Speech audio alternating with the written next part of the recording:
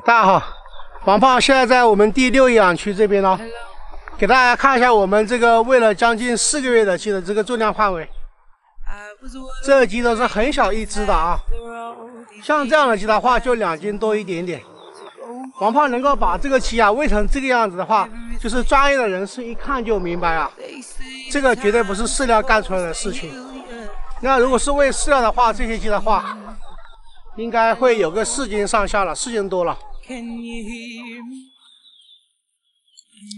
今天我决定把这个第六养区的鸡全部都转移，转移到我们第五养区那边去，给大家看一下山上的这个情况。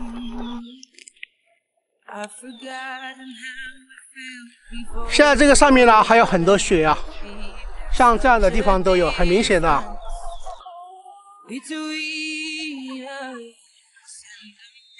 是一个什么样的情况呢？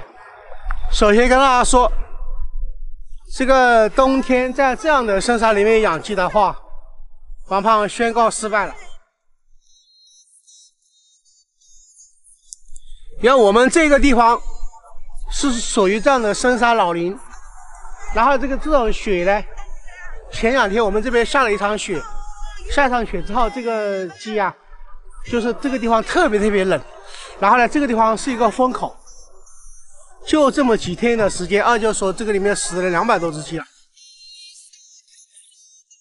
因为这个鸡啊，它它它这个重量范围还是太轻了，这个两斤多的鸡，你说它它羽毛虽然长齐了，但是它的这种抵抗力，它还是达不到这种就是很恶劣的这种天气的这种环境。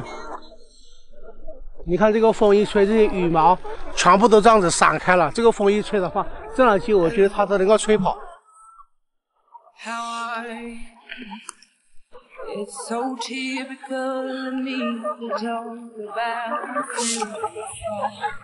这个地方太冷了。今天二舅要把这些跟我一起要慢慢来转移。我们担心的不是今天这个时候，我们担心的是。就是真正的大雪来临的时候，大雪来临就是我们看天气预报说，这个最近会有一个零下八度的一个天气。那零下八度的话，我这个位置的话，估计是零下十二度到十五度。我这些鸡的话，它肯定承受不了这么冻的这种环境，因为它这种重量还是太轻了。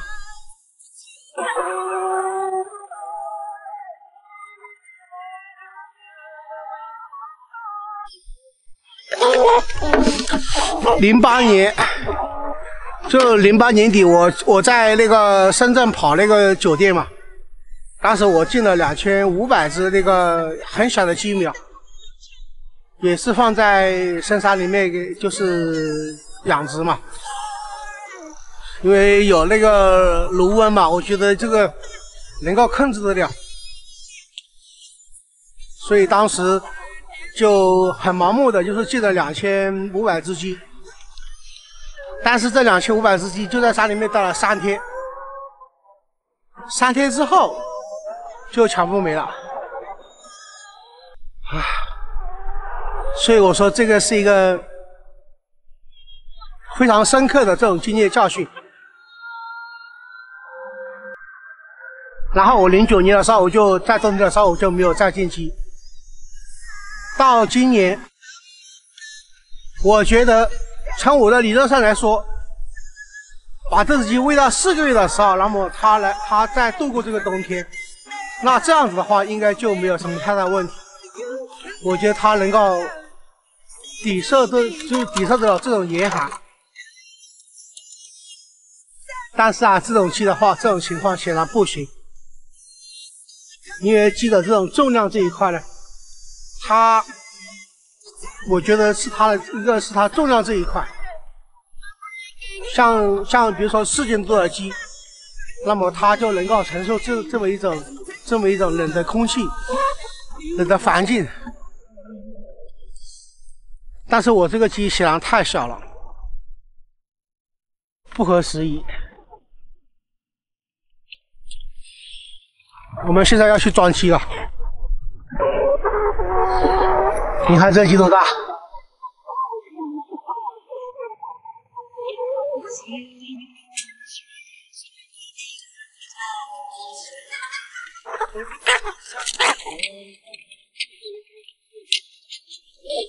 呃，乌鸡，这个雪红乌鸡。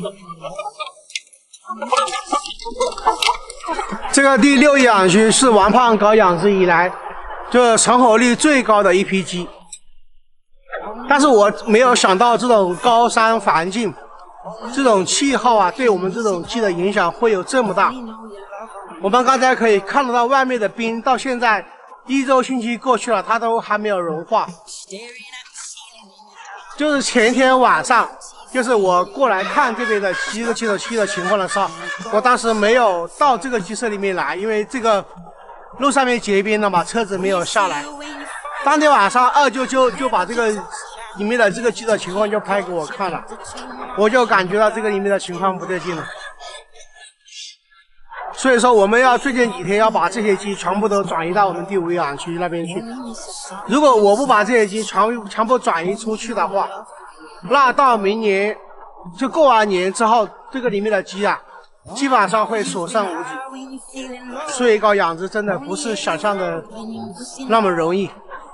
但是这个还好啊，就是给王胖的养殖道路上添加了宝贵的经验。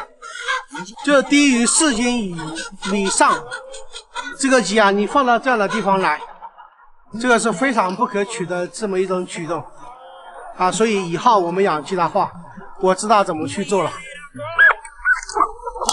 我特意把我二舅叫过来了啊，就前天二舅把那个就是拍完这个视频之后，我晚上回去就有一点小小的争执。呃，所以二舅怪我说这个，说我说他这个鸡没有养好，其实不是这个意思。这所有的流程，所有所有的东西都是按照我的这个养殖方式来养的。但是呢，搞养殖呢确实难，但是也有这个技术方面的一些探讨，所以不存在什么争执，是吧，二舅？是啊，我如果如果不是外甥，我在这个深山里面来哦，我要给你外甥要。扎起这种责任嘛？啊，对对对，是吧？对对对，嗯，我要要去，我要干活了啊，干活，要赶紧把这个鸡呢，要全部都，要这两天要全部都牵出去，是吧？然后尽可能的减少这个损失。呃，嗯，我们这个视频的话，寒流来的来之前，对，要全部都转移出去。是的，嗯。好了，我们这个视频的话就先到这里了，感谢大家对我们的支持嘞，再见嘞，加油，加油。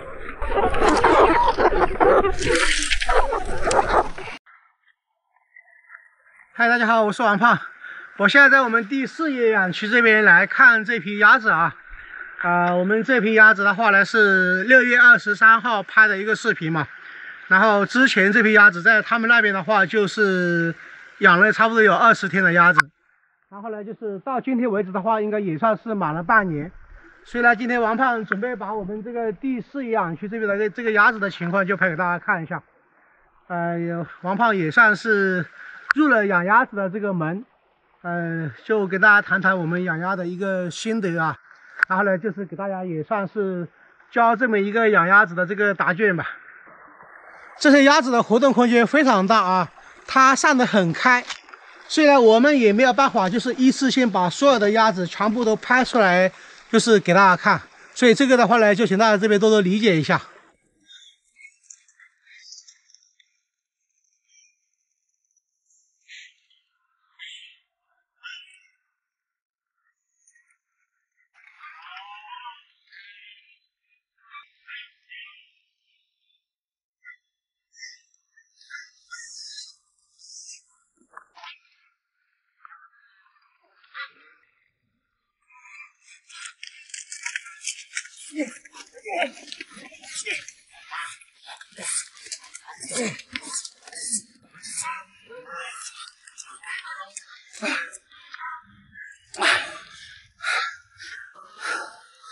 这只鸭子，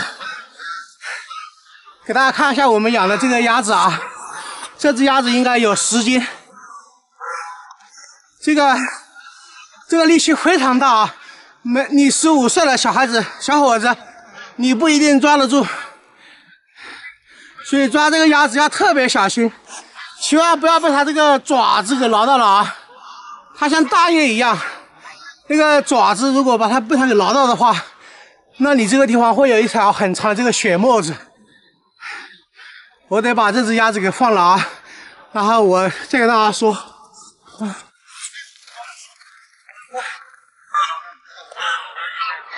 现在我要往那边去啊。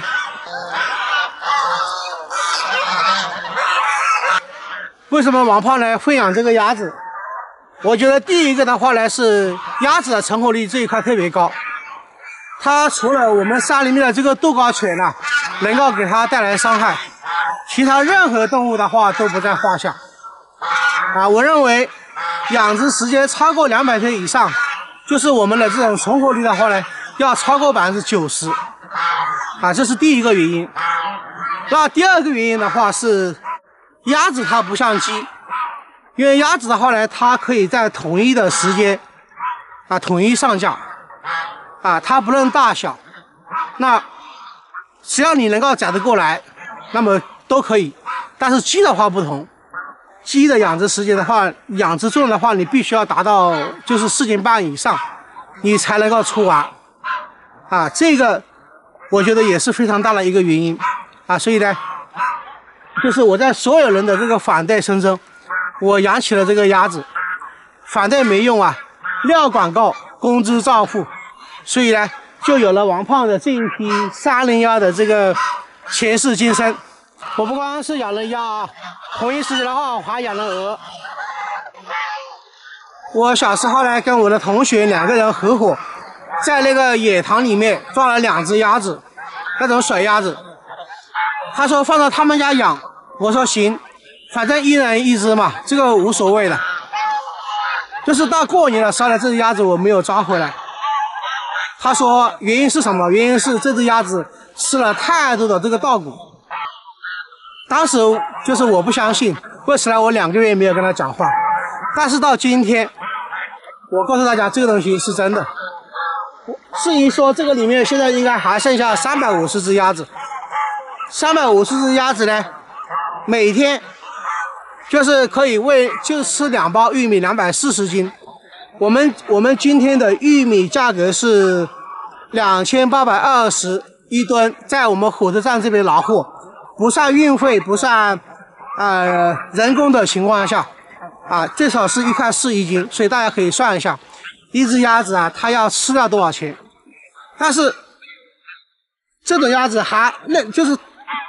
农村里面还有一种鸭子是水鸭子，水鸭子养殖的时间呢可以超过两年，因为它是吃饲料然后用来产蛋的。但是这种鸭子的话是用来吃肉的，啊，一般情况下呢，吃饲料的情况下喂得好的话，就是一百天以内，它可以长到十二斤、十三斤，啊，这是喂的比较好的这种了。但是呢，它长大之后，它就不会，就是这个鸭子的话，它就不会再长了。所以，为什么大家养这种鸭子的话，一般情况下只会养它超过一百天，就是允许它一百天以内，因为这个东西养多一天之后，心里面都慌。所以呢，这种鸭子的养殖，一般的养殖时间的话呢，最多就是一百天啊。这个原因的话就在这里了。所以呢，我大意了啊，真的大意了。这边是王胖的第二个大意啊。我为什么要把大家带到这个地方来看？这个位置。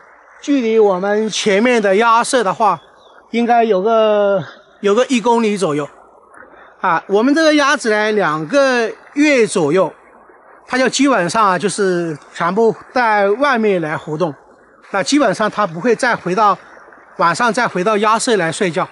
这鸭子特别奇怪，这个地方有水，它直接睡到水里面，哎，它不会掉下去，它那个头啊。